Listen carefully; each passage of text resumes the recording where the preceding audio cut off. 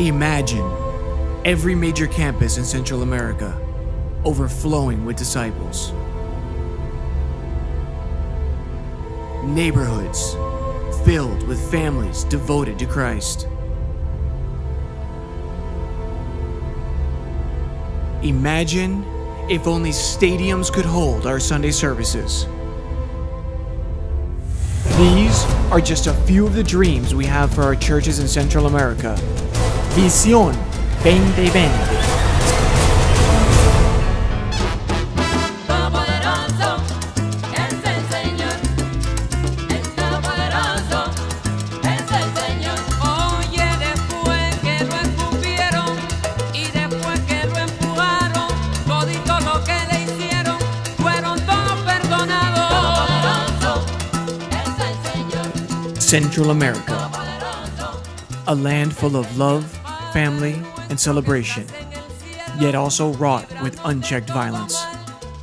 Geographically, all of Central America takes up only two thirds the size of Texas, and yet each of its seven sovereign nations is packed with people and rich culture. The average income of someone in Central America is about $250 per month. With that, you could barely buy two lattes a day at Starbucks. Currently, unprecedented violence is taking place in much of Central America. Lacking sufficient resources, police and military are desperately trying to fight against brutal gangs who, on a daily basis, extort, rob, and have contributed to some of the highest murder rates in the world, leaving many in despair. Yo, si me llegan a matar, ¿a dónde va a ir mi alma? ¿Al infierno o al cielo? ¿Me entiendes? Yo no sé a dónde va a ir mi alma. ¿Dónde te imaginas vos? Yo creo que mi vida es al infierno, a quemarme allá para toda la eternidad. Despite this adversity, our churches in Central America are holding up Christ like a light in the darkness, shining brightly for all to see. In 1994, 10 missionaries arrived in Guatemala City with the dream to make Christ known. The following year, a team was sent and started the church in San Pedro Sula, Honduras. After that came Costa Rica, El Salvador, Nicaragua, and Panama. We expanded to other cities when teams were sent to Xela, Guatemala, and Tegucigalpa, Honduras. And in 2000, the last country in Central America was finally planted as the team was sent to Belize City, Belize. The hearts of the Central American disciples are filled with gratitude to every single brother and sister who has sacrificed to send mission support to Central America. We could not have done any of this alone.